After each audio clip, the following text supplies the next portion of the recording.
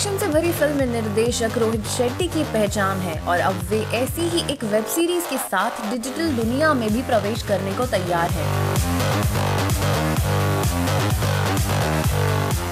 दिग्गज stuntman M P Shetty के बेटे रोहित सिंगम सिम्बा, गोलमाल, चेन्नई एक्सप्रेस और ऑल द बेस्ट जैसी फ़िल्मों के लिए मशहूर हैं। Shetty action adventure show fear factor खतरों के खिलाड़ी के साथ टीवी जगत में भी प्रवेश कर चुके हैं। जानकारी के अनुसार रोहित आठ एपिसोड की एक्शन थ्रिलर वेब सीरीज़ बनाने वाले हैं। यह सत्य घटनाओं से प्रेरित होगी। सीरीज़ के शीर्षक को लेकर अभी तक कोई खुलासा नहीं किया गया है। वहीं रोहित शेट्टी फ़िलहाल अपनी फ़िल्म सर्कस को लेकर व्यस्त हैं, जिसमें वे अभिनेता रणवीर सिंह के साथ काम कर रहे हैं।